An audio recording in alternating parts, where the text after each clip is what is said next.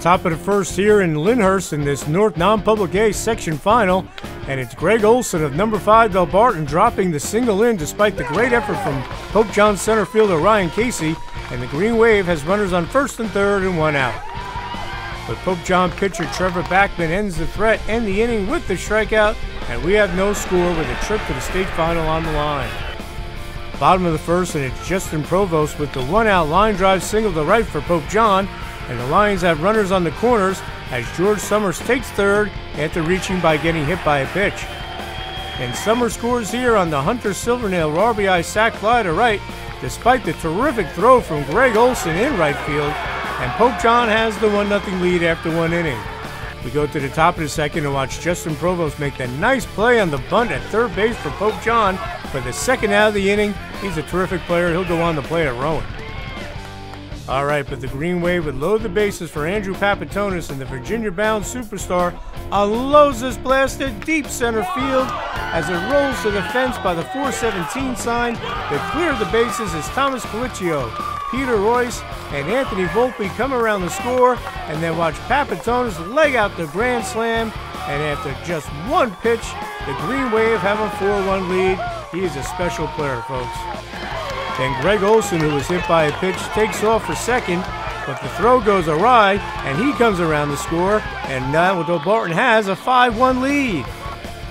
Bottom of the frame with just one out, Kevin Putski bounces a single through to left side, and Pope John has runners on first and second after Davian Sanchez had walked.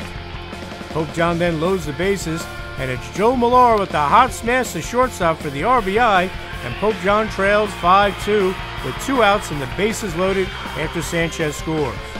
Then it's George Summers with a ribby single to right field to plate Putski, and watch the ball come around. It bounces around, and on the attempt to get the runner at second, that allows Eddie Ventresca to come around the score, and we have a 5-4 ball game. Crazy play. Okay, Pope John pitcher Trevor Backman settles down, and he gets the K here to end a 1-2-3 top of the third for Pope John, but it stays 5-4 Green Wave. All right, bottom of the fifth, and with one out, Pope John looks to score here as Justin Provost belts the double to deep right.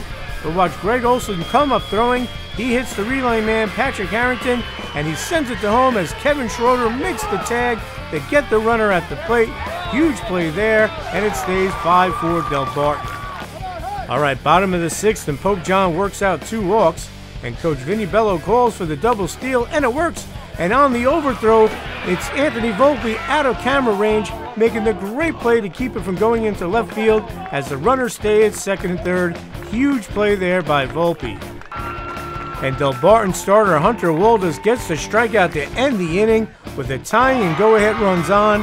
Big strikeout there, and it stays 5 4 Delbarton. Top seven, and it's Anthony Volpe ripping the leadoff triple for the Green Wave as he hits the gap in right center, and Delbarton is looking to add a big insurance run. And the Green Wave do on this Greg Olson ribby single to center as Volpe comes in to score, and it's 6 4 Delbarton. And Delbarton reliever Winston Allen punches the Green Wave's ticket to the non public A state final with the strikeout to seal the 6 4 win as Delbarton will play in the state final Saturday against St. Augustine at Toms River East High School at 2 p.m. Their first final appearance since 2012 as Pope John's great season ends at 23 and 8. We played great. I'm so proud of my seniors. We play. That's a well-coached ball club. I thought that Delbarton in the beginning of the year was the team to beat in the state.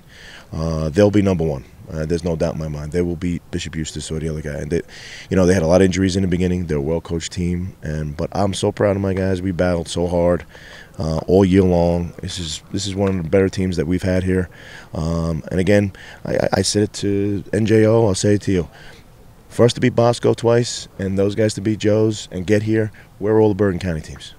We here. So I was proud of the Morris County teams. You know, Morris County champion against the HWS champion. That's this is what it's about. It was great. And just about how the kids, you guys were down and came back in the second inning, made it five four. It could look like it could have got away from you, but boy, you kids battled. No, I battled and, and battled at the plate. We worked the count. We, you know, and Milk came in and did a great job. And, and hats off to them. I think the play of the game was Volpe behind third base when we stole third. I mean, I didn't think anybody was covering, and they weren't. And he air mailed it, and Volpe makes a great play. That's why he's going to Vanderbilt. So. And just to look back this season, you get a piece of the American, you win the HWS, get here for the first time in a while. It's been quite a ride. Yeah, I'm, I'm, I'm so proud of my seniors. You know, Justin and Backman and Roberts and all those guys. Yeah, uh, they're a special group, um, and I, you know, it's gonna be tough not writing Justin's name in the lineup for you know for rest of the time. And but he's gonna have a great career at Rowan, and uh, I'm proud of proud of my guys. I really, really am.